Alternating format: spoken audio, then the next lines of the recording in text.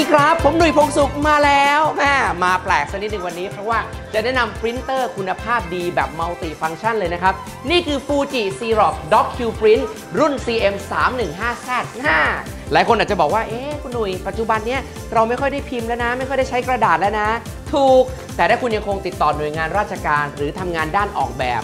ยังไงคุณก็ต้องพิมพ์ครับ ฉะนั้นวันนี้แนะนำปรินเตอร์ที่ดีที่สุดเลยดีกว่าว่าเป็นอย่างไร รีวิวกันให้ทะลุไปเลย สิ่งที่จะรีวิววันนี้ย้ำยี่ห้ออีกที Fuji Xerox DocuPrint รุ่น CM 3 1 5 Z หน้าตัวนี้เลยครับ เป็นปรินเตอร์เลเซอร์สีนะครับ แบบมัลติฟัง c t ชันถ้าพูดถึงมัลติฟัง c t ชันเมาแล้วไม่ใช่ครับ มี 4 ความสามารถหลักนะครับ ก็คือพิมพ์เอกสาร ถ่ายเอกสาร สแกนเอกสาร และรวมไปถึงแฟกซ์นะครับ ซึ่งวันนี้นะครับต้องยอมรับว่า Fuji Xerox สามารถสร้างเครื่อง ปรินเตอร์สีแบบเลเซอร์ที่เหนือกว่า multifunction โดยทั่วไปตรงนี้เลยครับ นี่ฮะ ออกแบบภายในใหม่หมดนะครับ เพื่อทำให้การติดตั้งและการปรับแต่งง่ายที่สุด รวมไปถึงการสั่งการผ่านหน้าจอสี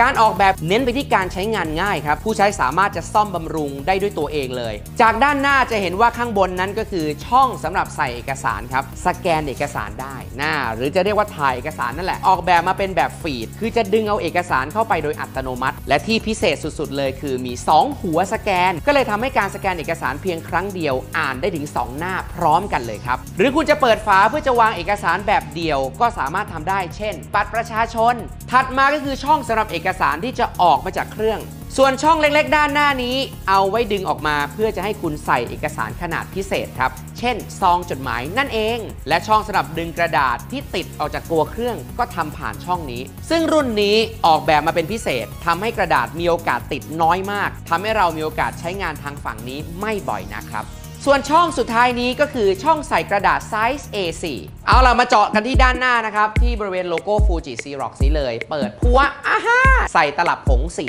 ตลับมาเป็นหลอดเลยทีเดียว สีไหนหมดเปลี่ยนเฉพาะสีนั้น อันนี้ดีมากตอบรับเรื่องของสิ่งแวดล้อมเป็นอย่างดีนะครับผงหมึกที่ได้ทราบมานะผงสีนี้เป็นการออกแบบให้จุดล้อมเหลวต่ำฉะนั้นคุณไม่ต้องทำให้เครื่องใช้พลังงานมากเพื่อสร้างความร้อนสูงนะครับมันก็สามารถที่จะปริ้นออกมาได้คมชัดเรียบเนียนแบบนี้เลยนี่ในขณะเดียวกันนะครับ สถานะของ CMYK หมายถึง Cyan Magenta Yellow แล้วก็ Black นะครับ คุณเห็นได้จากหน้าจอนี้นะว่า สีไหนใช้ไปเท่าไหร่ และสีไหนต้องเปลี่ยนก่อนหลังว่ากันไป ปกติแล้วนะครับ วัสดุสิ้นเปลืองในงานปริ้นหรืองานพิมพ์ต่างๆเนี่ยมันจะมี 2 ส่วนด้วยกัน ส่วนหนึ่งคือผงหมึก อีกส่วนหนึ่งอยู่ทางด้านนี้ครับนั่นก็คือ drum นั่นเอง ปกติแล้วเนี่ยการออกแบบของเครื่องลักษณะนี้จะยกดรัมเปลี่ยนทีแบบยกเซตแต่ Fuji Xerox เข้าใจความรู้สึกลูกค้าดีว่าแหมเสียดายอะฉะนั้นแยกสีไปเลยดีกว่านะครับ และใน1ดรัมต่อ 1 ชุดสีเนี่ยมีราคาเพียงแค่ 1,356 บาทอ่าแล้วก็มีอายุการใช้งานยาวนานนะครับ1ดรัมพิมพ์ไปได้ 50,000 แผ่นสี โอ้โห สุดยอดสิอย่างนี้ มาถึงเรื่องการเชื่อมต่อปรินเตอร์ตัวนี้กับโลกบ้างดีกว่า นี่อยากจะเชื่อมกับ network กับคอมพิวเตอร์ทุกตัวในองค์กรคุณในบ้านคุณ คุณก็ใช้ port คุณนาตาลีได้เลย นาตาลีพอร์ตแลนด์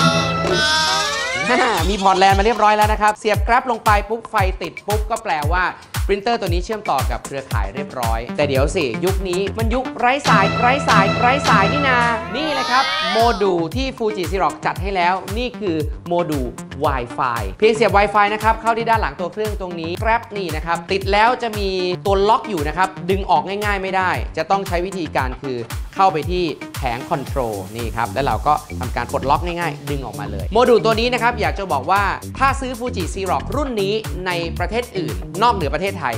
จะไม่ฟรีนะครับ คุณต้องซื้อโมดูลนี้ แต่เฉพาะคนไทยเรา Fuji Xerox Thailand จัดตัวนี้แถมฟรีมาแล้ว พร้อมกับ Fuji Xerox DocuPrint CM 315 Z ตัวนี้ไปเลย และเมื่อปรินเตอร์เชื่อมต่อกับ network แล้ว อะไรดีๆ จะเกิดขึ้น TikTok TikTok TikTok น่าสามารถสั่งปริ้นจากเครื่องไหนก็ได้ที่ใดก็ได้ในโลกนี้ Fuji Xerox DocuPrint ตัวนี้ออกแบบมาแบบนี้เลย thumb drive นะครับคุณเสียบปั๊บนี่ ปริ้นภาพได้ไม่ง้อคอม ก็เปรียบเสมือนหน้าจอ control ที่เราจะสามารถ browse หรือดูไฟล์ที่อยู่ในตรัมนี้ได้หมดเลยนะครับ ในขณะเดียวกันครับ ถ้าเป็นสมาร์ทโฟนนี่อ่าเริ่มจาก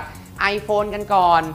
คุณผู้ชมสามารถเลือกรูปที่ชอบนะครับนะฮะอยากจะปริ้นรูปไหนอ้าวเช่นปริ้นรูปนี้ละกันเรากดส่งนะฮะแล้วเราก็เลือกปริ้นนะนะครับ ในวง Wi-Fi เดียวกัน คุณจะเจอปรินเตอร์ครับ นั่นก็คือ Fuji Xerox DocuPrint CM315 กดปริ้นเลย มาฟัง Android กันบ้าง นี่ไม่รู้จะเริ่มต้นยังไงดี คุณแตะเข้าไปเลยกับตัวเครื่อง ติ้งนี่ครับ มันมี NFC ครับ ก็คือ Near Field Communication มันจะเชื่อมต่อกัน มันจะบอกกันได้ว่านี่ คุณใช้แอป Fuji Xerox Print Utility นะ กด install เลยตึ๊บนี่ดาวน์โหลดมาติดตั้งในเครื่องแล้วก็สั่งปริ้นได้นะครับเนี่ยที่เครื่องนี้เราปล่อยให้ติดตั้งไป เครื่องนี้เราติดตั้งไว้เรียบร้อยแล้ว มีแอป Fuji Xerox Print เรียบร้อย เราไม่ต้องเปิดแอปก็ได้ เราอยู่หน้าอื่นก็ได้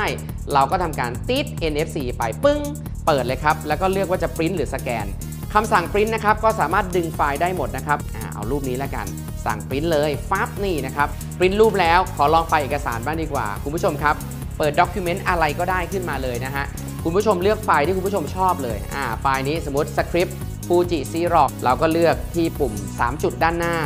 แล้วก็สั่ง Share and Export แล้วก็เลือก Print เอา Print ออกมาเลย นี่ใบที่ 1 แฟบสวยงาม ใบที่ 2 แฟบสวยงามนี่นะครับ ไม่ใช่การสั่งพิมพ์จากแค่อุปกรณ์ใกล้ตัว หรือคอมพิวเตอร์ในบริษัทของเราเท่านั้นนะครับ แต่เมื่อกี้ผมพูดไปแล้ว มันสั่งผ่านคลาวด์ได้ด้วยนะระบบคอมพิวเตอร์กลุ่มเมฆนี่แหละครับ คุณฟังไม่ผิดแล้วครับสิ่งที่เหนือกว่าการเชื่อมต่อคลาวด์ทั้งปวง คือ Fuji Xerox ออกแบบ สิ่งที่เรียกว่า Fuji Xerox Cloud Service Hub ไว้ เมื่อคุณทำการล็อกอินนะครับด้วยการลงทะเบียนเพียงครั้งแรกครั้งเดียว มันจะผูกกับบริการคลาวด์เจ้าใหญ่ถึง 3 เจ้า มี OneDrive ของ Microsoft Google Drive แล้วก็ Dropbox แถมอีกนิดนึงมี OneDrive for Business ด้วยนะครับ ฉะนั้นเนี่ยเมื่อคุณจิ้มเข้าไป คุณจะเห็นไฟล์ทั้งหมดเลย เลื่อนตามนิ้วมาเลยนะฮะ นี่แม้ touch screen จะยังไม่ค่อยติดนิ้วมาก แต่เอาเป็นว่ามันเห็นไฟล์ทั้งหมดเลย ส่วนไฟล์ที่ว่างนี้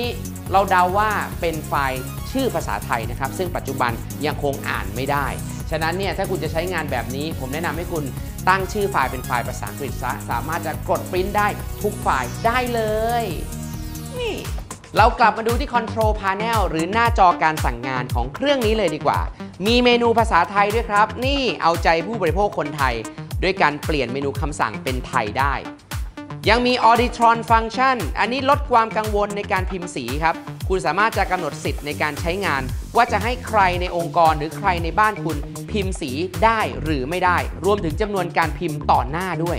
c q l Print งานพิมพ์ลับเฉพาะนะต้องสร้างรหัสผ่านก่อนการเข้าถึงข้อมูลกับเอกสารสำคัญ เพื่อจะปกป้องการส่งต่อข้ามเครือข่ายได้ Run Black Only อีกฟีเจอร์หนึ่งที่คุณไม่ต้องกังวลอีกต่อไปเมื่อหมึกสีหมด ยังให้คุณสามารถพิมพ์งานขาวดำได้อย่างไม่สะดุดเลย ต้องยอมรับนะครับว่าปรินเตอร์ที่มีความสามารถเยอะขนาดนี้ หนักไหมครับ หนักครับใช่ครับมันหนักครับ น้ำหนัก 30 กิโลกรัม โอ้โห ถือไปไหนมาไหนลำบากแย่เลยนะเนี่ย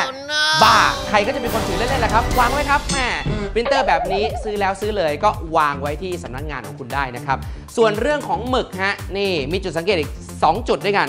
หมึกสีสี CMYK ที่บอกเขาแยกสีแยกกล่องกันมา ในท้องตลาดมีอยู่ 2 ขนาดนะครับ ขนาดแรกก็คือพิมพ์ได้ 3,000 แผ่นตามพื้นฐาน แต่ถ้าคุณสังเกตคำว่า High Capacity ขึ้นมาเมื่อไหร่ กับกล่องลักษณะเดียวกัน แต่ติดตัวนี้ขึ้นมาเป็น label สีเทาขนาดไซส์หลอดเท่ากัน แต่สามารถพิมพ์ได้ 6,000 แผ่นอ่าถ้าเลือกหมึกแบบนี้นะครับแพงกว่าอีกนิดนึง แต่ช่วยลดภาระต้นทุนต่อแผ่นได้มากทีเดียวละครับ สุดท้ายแล้วเราจะคบหากับ Fuji Xerox หรือไม่ เราคงต้องดูที่ราคาค่าตัว แล้วก็การรับประกันด้วย สอบถามมาแล้วนะครับ Fuji Xerox รับประกัน Fuji Xerox DocuPrint CM315 Z ตัวนี้ไว้ที่ 3 ปี ด้วยรูปแบบ On-Site Service โอ้โห งงละสิ ใน 3 ปีนี้นะครับ ถ้าเครื่องเสียมีปัญหาแต่อย่างใดแค่โทรไปที่ call center ส่งเจ้าหน้าที่ไปถึงที่เจอคุณได้เลย ไม่ต้องแบกยก 30 กิโลมาเองอ่าและพูดถึงราคาค่าตัวมันครับ Fuji Xerox Thailand วางราคาไว้ 32,900 บาทนี่มาพร้อมโมดูลของ Wi-Fi เรียบร้อยนะครับ และถ้าจะดูถึงเรื่องของวัสดุสิ้นเปลืองนะผมคิดว่าเราดูตารางนี้เลยดีกว่า ละเอียดดีฟับ สังเกตดูนะครับว่าอัตราสิ้นเปลืองต่อแผ่นนะฮะ เมื่อใช้แบบ High Capacity ถูกมาก ๆ เลยทีเดียว อ้าว คุณผู้ชม capture ไว้กันลืม และนี่แหละครับก็คือการรีวิวปรินเตอร์เลเซอร์สีแบบมัลติฟัง c t ชันที่น่าจับตามองมากณเวลานี้ Fuji Xerox DocuPrint CM 315 Z